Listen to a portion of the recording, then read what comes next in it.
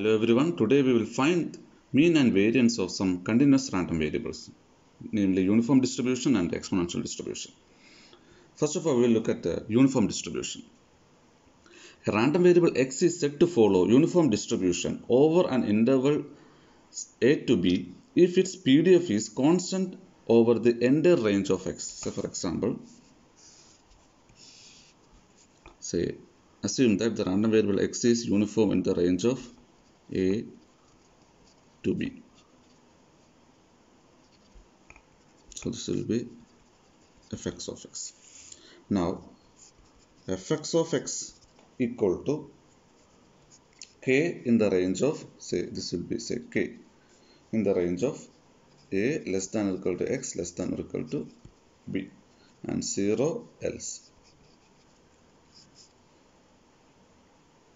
Now what will be the value of k? Value of the k can be found by, we know that total area under say minus infinity to plus infinity fx of x dx equal to 1. So we know that the PDF is valid in the range of a to b, right? So this will be equal to integral a to b k dx which is equal to kx a to So this will be equal to 1 is equal to k into b minus a. So therefore k equal to 1 by b minus a. So the value of k is 1 by b minus a. Now, now what is what are the applications of uh, this uh, uniform distribution? Applications are the random distribution of errors introduced in the round off process are uniformly distributed. For example, if you consider in the case of uh, uh, in digital communication, the quantization error is uh, considered is uniformly distributed. Another example for uniform distribution in communication engineering is we know that power spectral density of white noise also follows uniform distribution. We know that power spectral density is Sx of f equal to n0 by 2, right? So in order to understand the concept of uh, uniform distribution, we'll do a problem. Buses arrive at a specified stop at 15 minutes interval starting at 7 am. That is, they arrive at 7 am, 7.15, 7.30, 7.45 and so on.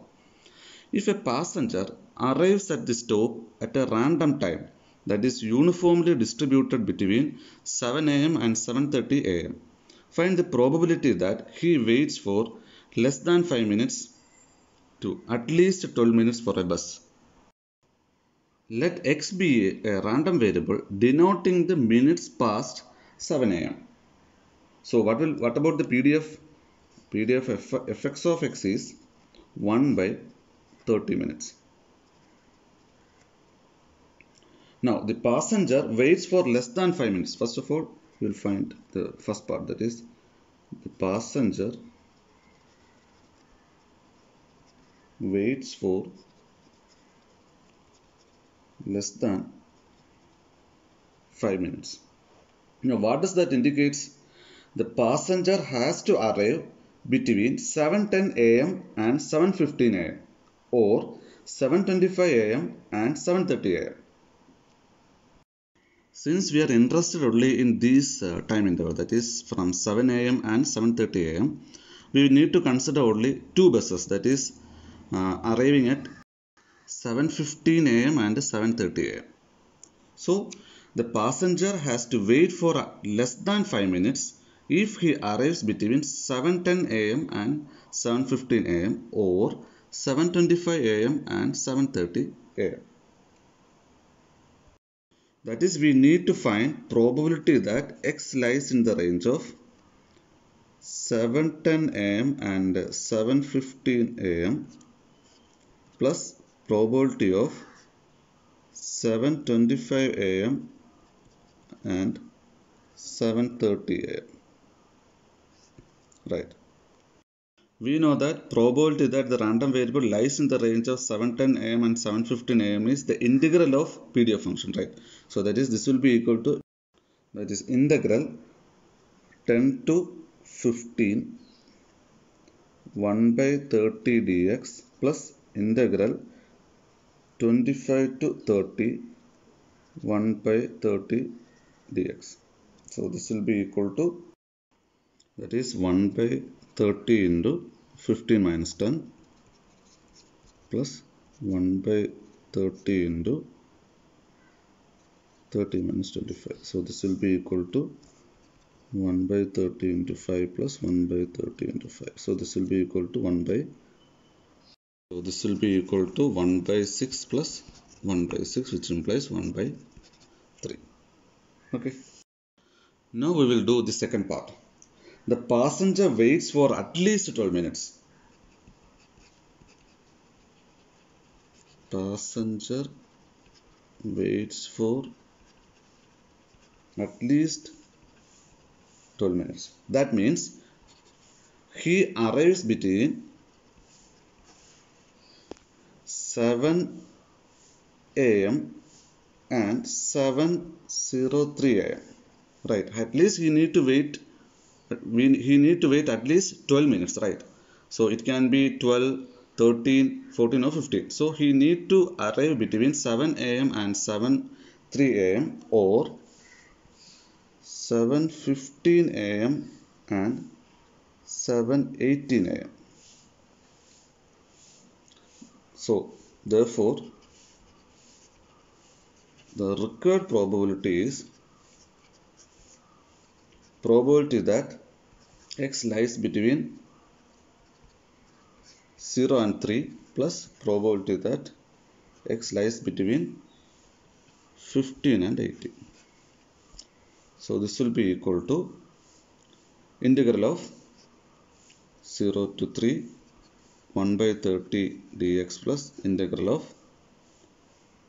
15 to 18 1 by 30 dx. So this will be equal to 1 by 30 into 3 plus 1 by 30 into 18 minus 15 that is 3. So this will be equal to 1 by 10 plus 1 by 10 this will be equal to 1 by 5. Now we will find the mean value of uniform distribution. So for any distribution, mean value is defined as expectation of x equal to integral minus infinity plus infinity x into f of fx of x dx. Right. So this will be equal to integral. So we know that uh, the random variable x is uniformly distributed in the interval a to b. So a to b x into what about fx of x?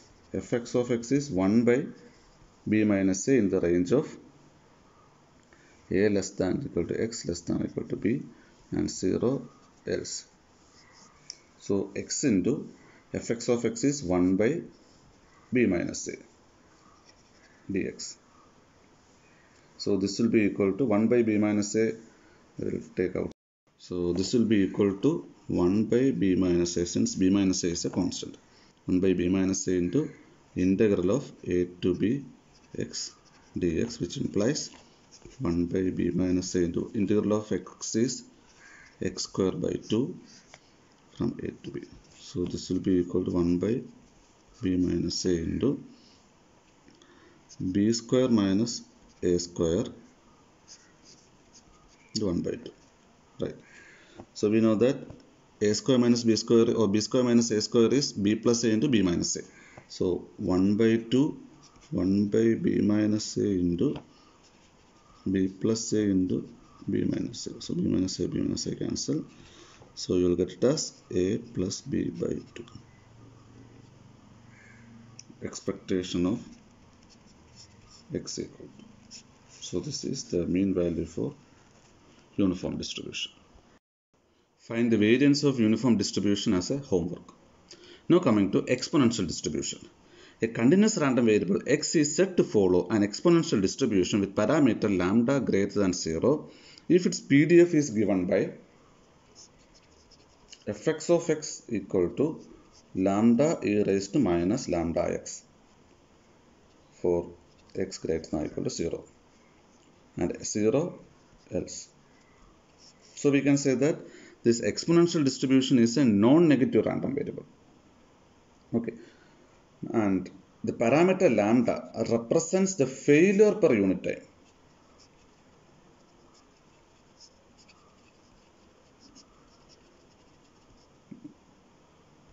Usually, the fluctuations in signal strength received by radar receivers from certain type of targets are exponentially distributed. Another example is raindrop size. When large number of rainstorm measurements are made are also exponentially distributed. A major feature of exponential distribution is its memoryless property. How will you define memoryless property? Memoryless property is defined as probability that the random variable x greater than t plus s given that probability that x greater than t is given by probability that x greater than s. So this is the memoryless property. So we will illustrate the concept. So consider two timeline t, two time instant t and t plus s. So this is s. Okay. First of all, we formally prove this uh, uh, memoryless property of exponential distribution. First of all, we will find the probability that the random variable x greater than k. We know that uh, how will you find this particular quantity? By integrating the PDF, right? So, integral say k to infinity fx of x dx. So, this will be equal to integral k to infinity lambda e raised to minus lambda x dx. So, which will be equal to lambda e raised to minus lambda x divided by minus lambda. The integral of e raised to minus lambda x is e raised to minus lambda x by minus lambda and we will apply the limit as k to infinity. So this will be equal to lambda into e raised to minus infinity is 0. So 0 minus of minus plus e raised to minus lambda k by lambda. So this will be equal to lambda lambda cancel. So e raised to minus lambda k.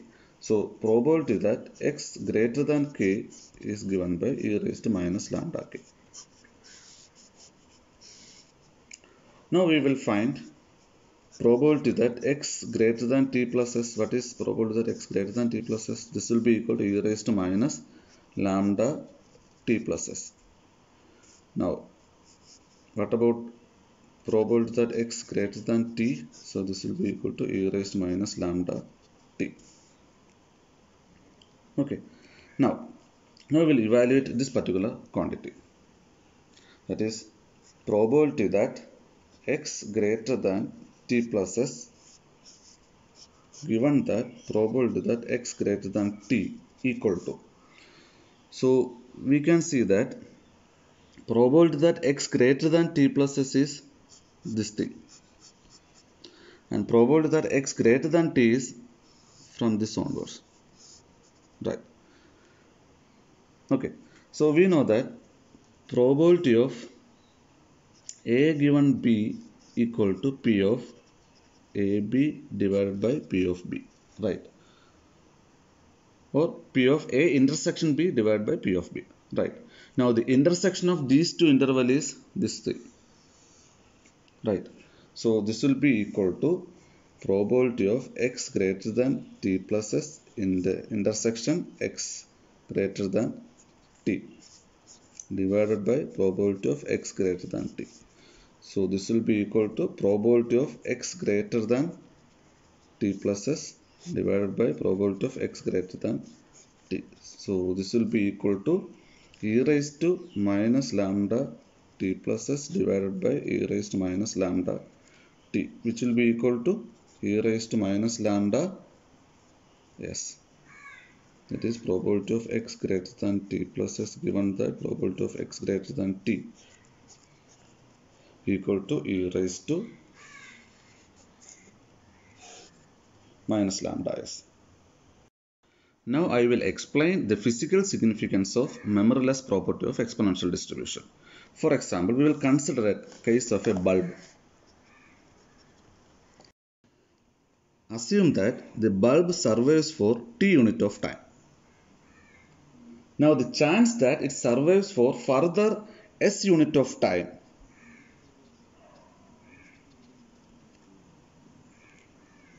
is same as that of a fresh bulb surviving s unit of time. In other words, past history has no effect on the bulb's performance.